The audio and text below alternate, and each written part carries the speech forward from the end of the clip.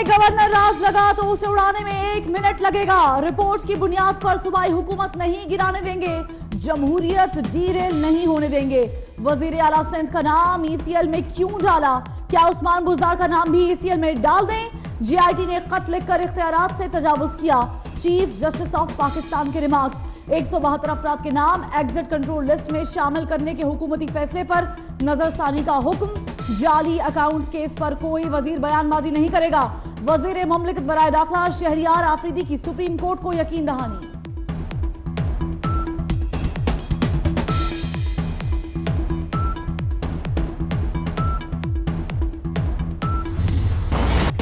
सबक सदर आसिफ अली जरदारी और फरियाल तालपुर को जवाब जमा कराने के लिए एक हफ़्ते की मोहलत मिल गई। अपने मौकल को बता दें, उनके साथ इंसाफ होगा। किसी के साथ ज़्यादा या ना इंसाफी नहीं होने देंगे। अदालत की नज़र में कोई बदगुमानी नहीं। अदालत को सियासी मामले में फरीक ना समझा जाए। चीफ जस्टिस का फारूक नाइक से मुकालमा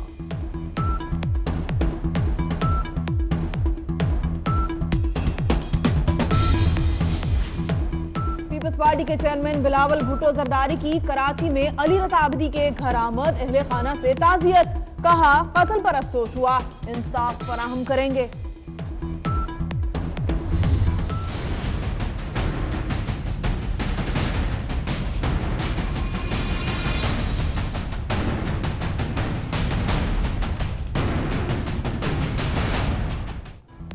सियासतदानों में रकम की तकसीम के ठोस शवाहिद दस्तयाब नहीं। एफआईए की असगर खान केस बंद करने की सिफारिश। ये केस ही नहीं बनता। चीफ जस्टिस के रिमार्क्स। जस्टिस एजाजुल एहसन ने कहा, अखबारी खबरों पर सजा नहीं दी जा सकती। सुप्रीम कोर्ट में केस की समाप्त एक हफ़्ते के लिए मुलतवी। असगर खान के कानूनी वरसा को नोटिस जारी।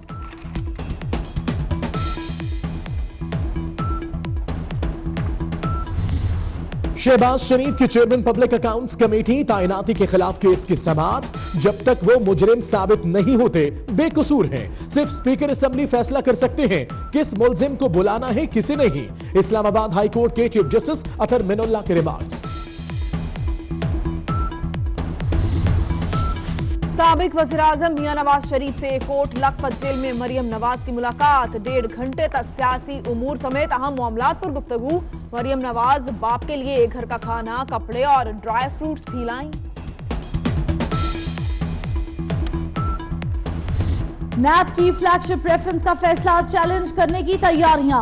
फ्लैगशिप के लिए रकम सबक वज़ीर आज़म पाकिस्तान नवाज़ शरीफ ने अदा की। अदालत इसको नजरअंदाज नहीं कर सकती। हिल मेटल से रकम हासिल करना तस्लीम शुदा हकीकत है।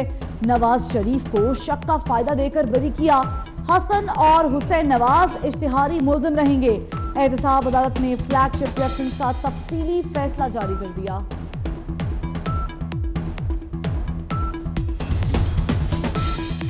बलूचिस्तान के तीन सबक वजराए आला दो सबक स्पीकर के खिलाफ भी करप्शन केसेस खुल गए। बीस से ज़्यादा अरकिन असम्बली और ब्यूरोक्रेट्स के खिलाफ भी तहकीकात शुरू। नैब का कहना है, सूबे में अरबों रुपए की अराजी की गैर कानूनी अलॉटमेंट भी सामने आ गई।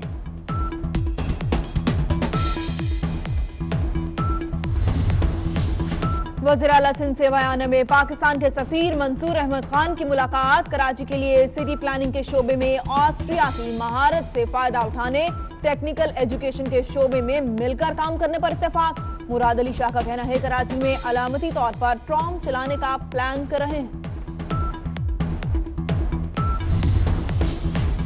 वज़ीर आला सिंध के मुशीर मुर्तजा वहाब का कहना है, पाकिस्तान पीपल्स पार्टी के साथ बड़ी साजिशें हो चुकी हैं। माजी में साजिशें नाकाम हुई, अब भी नाकाम होंगी। तहरीक इंसाफ वाले इल्ज़ाम तराशी करते हैं, फिर यू टर्न लेते हैं। आने वाले दिनों में भी मजीद यू टर्न लेंगे।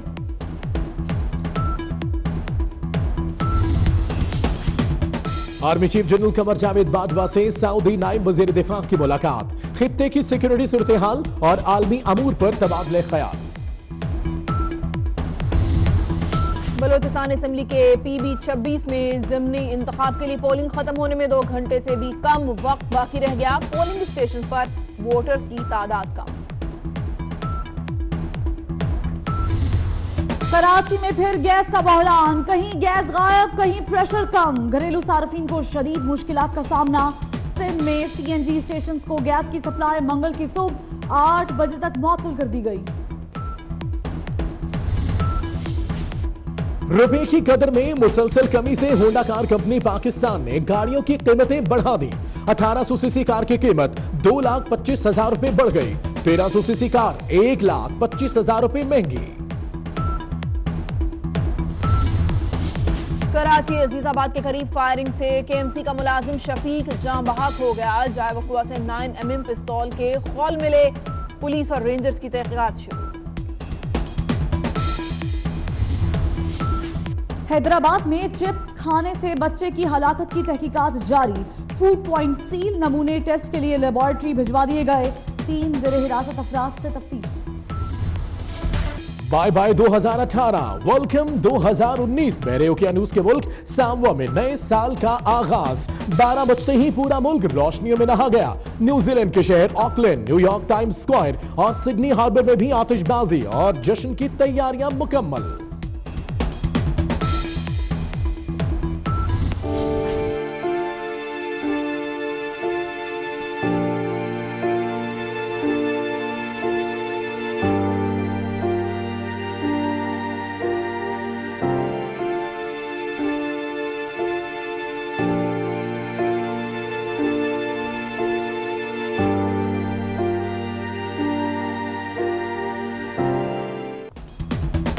पाकिस्तान में 2018 का साल कई प्यारों को अपनों से जुदा कर गया।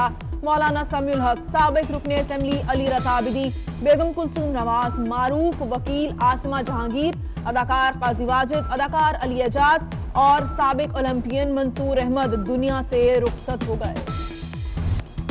साल 2018 किसी के लिए अच्छा रहा, किसी के लिए बुरा। आम इंतबात जीत कर इमरान खान पाकिस्तान के बाईसवें वज़ीर आज़म बने। सबक वज़ीर आज़म नवाज़ शरीफ मरीम नवाज़ को जेल जाना पड़ा। शहबाज शरीफ ख्वाजा साद रफीक सलमान रफीक समेत कई रहनुमाओं को पकड़ा गया। हुआ दुनिया का चक्कर लगाने वाले पहले पाकिस्तानी बन गए। न्यू ईयर नाइट ज़रूर मनाएँ मगर हल्ला गुल्ला करने की इजाज़त नहीं। कराची में वन व्हीलर्स के खिलाफ सख्त कार्रवाई का फैसला। हवाई फायरिंग और समुद्र में नहाने पर पाबंदी आयद। लाहौर में भी मंजिलों को रोकने के लिए खुसूसी फोर्स तैयार। Wall road, jail road, canal road समेत अहम शाहराहों पर लगेंगे नाके।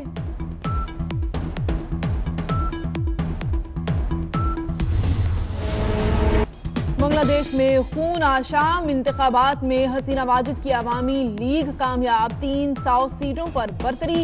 अपोजिशन इंतबी नतज मुस्तरद कर दिए। पुरतशद वाकत में सत्रह शहरी हलाक हो गए।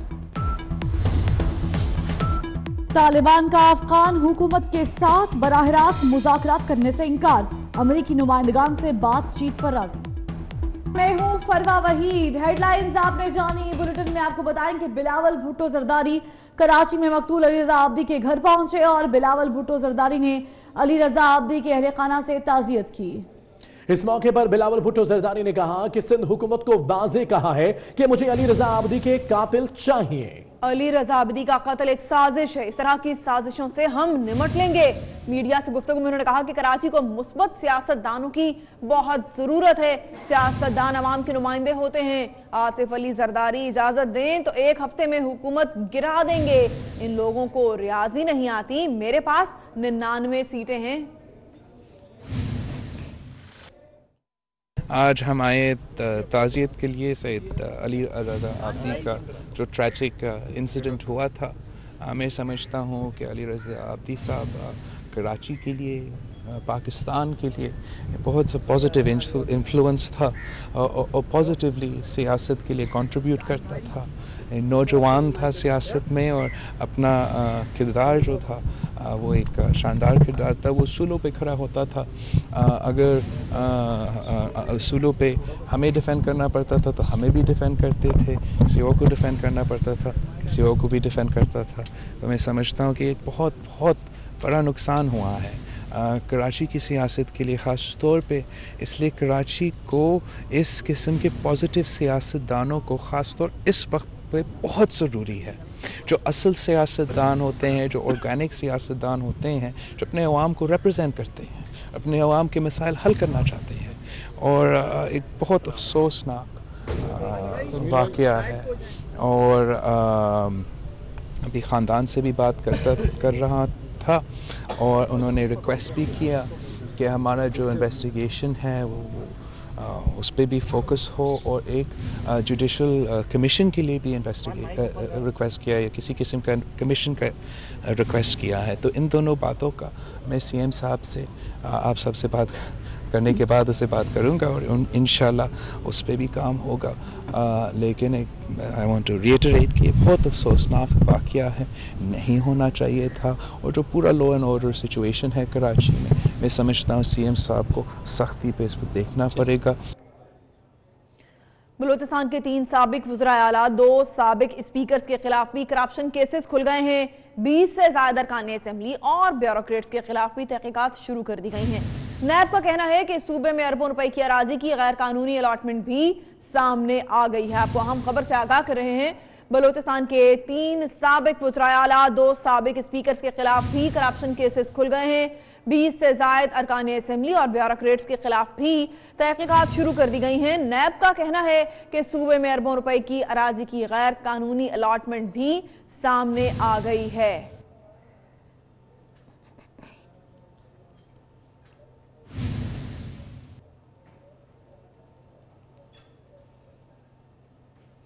सुप्रीम कोर्ट में जाली बैंक अकाउंट्स केस की समात हुई। चीफ जस्टिस ने रिमार्क्स दिए हैं कि जीआईटी ने खत लिखकर इख्तियार से तजावुज किया। वज़ीर अला का नाम ईसीएल में डालकर उनकी सियासी करियर को दाव पर लगाया गया है।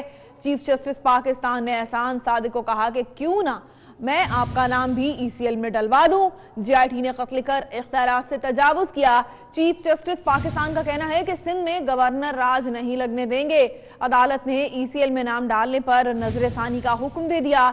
चीफ जस्टिस ने रिमार्क्स दिए कि सिंध में गवर्नर आज लगा तो उसे उड़ाने में एक मिनट लगेगा। रिपोर्ट की बुनियाद पर सूबाई हुकूमत नहीं गिराने देंगे। कहीं भी जमहूरियत को डीरेल नहीं होने देंगे। अहम खबर से आपको आगाह कर रहे हैं। सुप्रीम कोर्ट में जाली बैंक अकाउंट्स केस की समाप्त हुई। चीफ जस्टिस ने रिमार्क्स दिए हैं कि जीआईटी ने खत लिखकर इख्तियार से तजावुज किया है। वज़ीर अला का नाम ईसीएल में डालकर उनका सियासी करियर दाव पर लगाया गया है। चीफ जस्टिस पाकिस्तान ने एहसान सादिक से कहा कि क्यों ना मैं आपका नाम भी ईसीएल में डलवा दूँ। जीआईटी ने खत लिखकर इख्तियार से तजावुज किया। चीफ जस्टिस पाकिस्तान का कहना है कि सिंध में गवर्नर राज नहीं लगने देंगे। अदालत ने ईसीएल में नाम डालने पर नज़र सानी का हुक्म दे दिया। चीफ जस्टिस ने रिमार्क दिए कि सिंध में गवर्नर आज लगा तो इसे उड़ाने में एक मिनट लगेगा। रिपोर्ट की बुनियाद पर सूबाई हुकूमत नहीं गिराने देंगे। कहीं भी जमहूरियत को डीरेल नहीं होने दिया जाएगा।